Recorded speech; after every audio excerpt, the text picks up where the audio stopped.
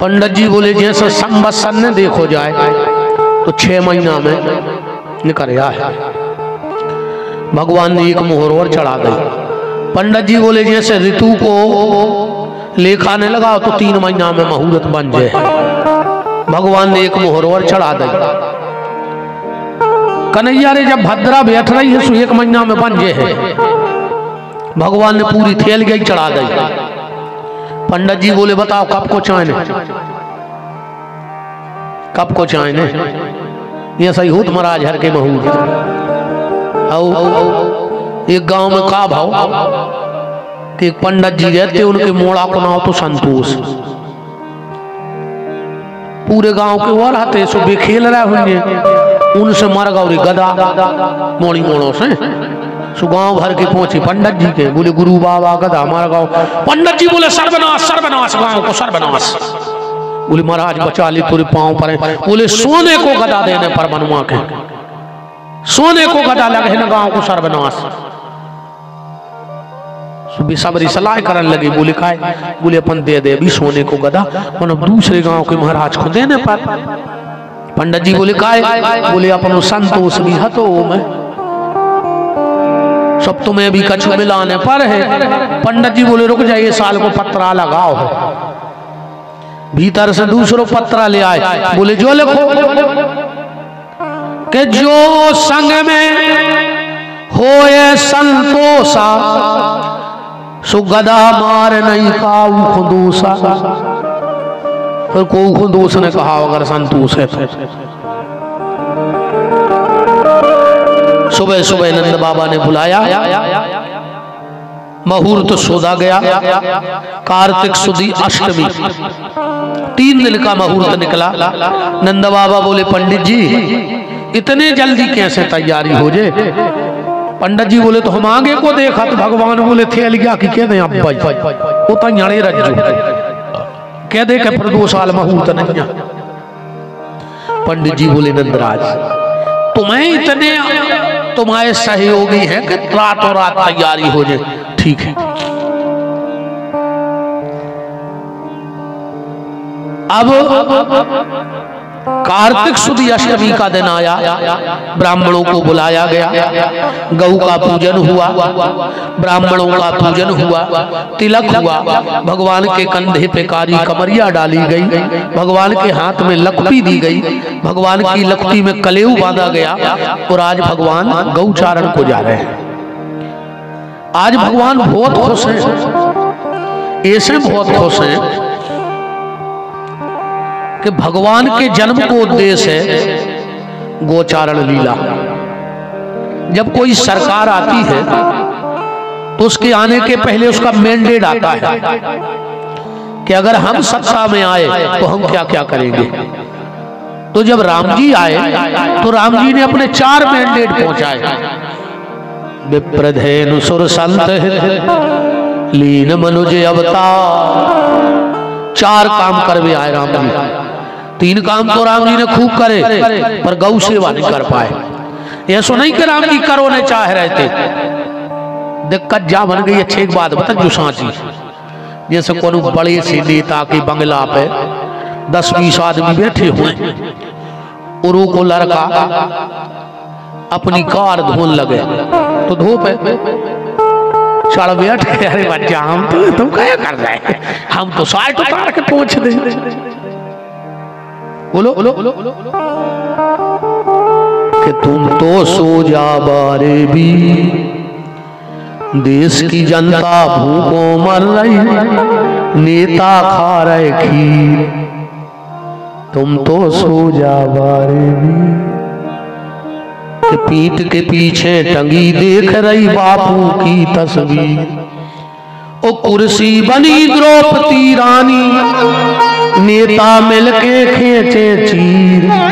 तुम तो सो जा बारे भी। अच्छा कुर्सी बारे को कबू नींद नहीं आती। ये खो मिल गई, वो ये जुगाड़ में नहीं सोए के चली ले जाए रे। कौन कौन के हाथ जुड़े कौन कौन से राम राम करे? कौन कौन को चाय पियाए? चली ले जाए। वो जे की चली गई, वो पाँच साल हाथ जुड़त फिरत के फिर के मिल जाए। फिर के मिल जाए सो नींद दो ही चली जाए। इतना खतरनाक नशा होते यार कुर्सी को। हम नाव तो नहीं ले रहे, बिल्कुल सत्य घटना बता रहे मंच पे बैठे। अब आई सरपंची में। एक जने जा रहे थे सरपंची को फार्म भर में। चौथाई मताई ठाणी थी तो घर वाली सुपेल ने मताई के पाँव पर हो, फिर घर वाली के गोड़ों को लूम गए। मकेन लगी का बिल्कुल आई पागल हो गए अब। इतनो खतरनाक नशा होते बच्चा। तो राम जी जब गौ सेवा करने जाते तो हज़ारों नौकर दौड़ पड़ते थे।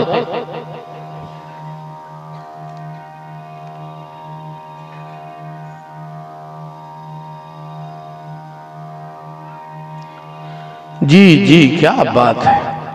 कुछ विद्वानों का मानना है, विद्वान को आए? खड़े हो जा। सूर्यास्त के बाद भागवत नहीं हो सुखदेव जी का घरे चले जाते।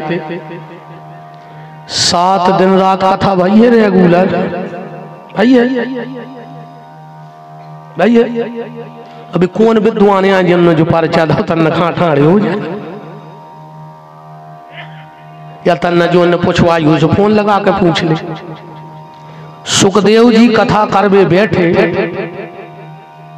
आखिरी दिन उठे हैं। एक मिनट को विराम नहीं भाव एक मिनट को विराम नहीं भाव कथा को। परीक्षित जी प्रश्न करत रहे और सुखदेव जी उत्तर देते रहे। पहले दिन चालू भाई और आखिरी दिन बाणी, बंद भाई। तो रात में नहीं हो जब कथा। बताओ। रात में नहीं हो तुझे ज़बरदस्त की बात है पूछ ले। ये तो दिमाग को लगाओ, राजा हरो। काउ तो पे और विश्लेषण करें आप। इतने पे तो संतुष्टि हो गई हुज्जे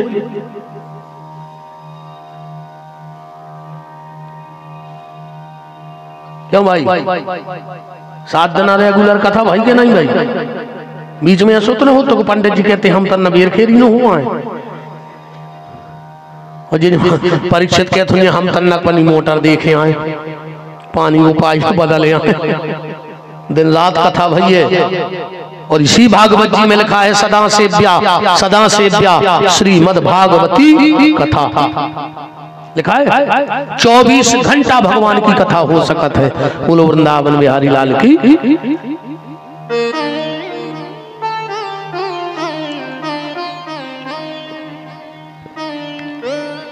तो राम जी जब गौ सेवा को जाते तो हज़ारों नौकर दौड़ पड़ते। राम जी ने कहा, रुक जाओ। इस बार हम गौ सेवा नहीं कर पा रहे। तो त्रेता में द्वापर को मैंडेट बन गो रामायण को जो ही दोहा पढ़ो एक एक शब्द फोड़ के। विप्रधेनु सुर संत लीन मनुज अवतार निज इच्छा कौन की, राम जी की इच्छा। निर्मित तनु, भगवान बोले, हम ऐसी स्थिति निर्मित कर रहे हैं कि माया ए माया, गुण, गोपाल, अगले जन्म में हमें गोपाल बना के भेजियो। हम सिर्फ़ गैया की सेवा कर करें और कौन काम करें और गौ सेवा का वो फल है। आप लोगों ने वो कथा सुनी होगी उल्टा नाम जब तक जाना बाल्मीकि भाई ब्रह्म समाना। नारद जी दीक्षा दे गए राम नाम की। खूब मरा मरा मरा मरा कहत रहे। एक दिन आ गए सप्त ऋषि वाल्मीकि जी के लगा ज़रूर पढ़ियो वाल्मीकि चरित्र में जा कथा। वाल्मीकि जी बोले कि गुरु जी हम इतना राम राम राम जप रहे हैं और हमारे पाप कम नहीं हो रहा है।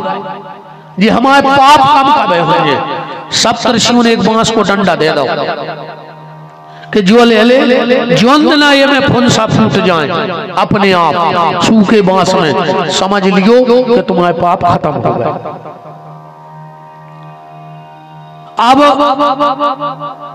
वाल्मीकि जी ये तीरथ पे वो यज्ञ में जो दान, वो पुण्य, पूरी दुनिया घूम मारी। पर वो बाँस में फुंसा ने फूटे रहे। उनने सोची, यार ये से कितने पाप आ रहे मैंने कि पूरे तीरथ करे आए, सब करे आए फुंसा नहीं फूट रहे। सो एक दिन वो कदा पे धरे बाँस को लट चले जा रहे थे। सामने देखो कि दस बीस कसाई, सौ पचास गंजी एक बाड़ी में छेके हैं। बगल में भरो है पानी और भी कसाई गैयों को पानी नहीं पियन दे रहे कसाई गैया को पानी नहीं पियन दे, प्यासी मारत है। कैसे चमड़ा उतारे में उनको सहूलियत हो जाता है। वाल्मीकि जी ने कही कि अब जैसे सत्तर से बहत्तर हमारे पाप तो खत्म हो ही नहीं रहे। आप मानो हमें गंजो पानी पिया है, जो जिस मार जिस जो जिस देख ही दे सोठा के वो बाँस को लट और दे कसाओं में धान सी को चली। और खोलो फाट को, और जैसे ही गंजे निकली और उन्हें तालाब में पानी पियो, और बाल्मीकि के सूखे बाँस में पाँच पाँच दस दस हाथ के फंसा फूट के आ गए। दुनिया में सबसे बड़ा अगर कुछ सत्कर्म है तो गौ माता की सेवा का सत्कर्म है सबसे बड़ा। इसीलिए राम भी गौ सेवा करते हैं और कृष्ण भी गौ सेवा के लिए ही प्रकट हुए। हैं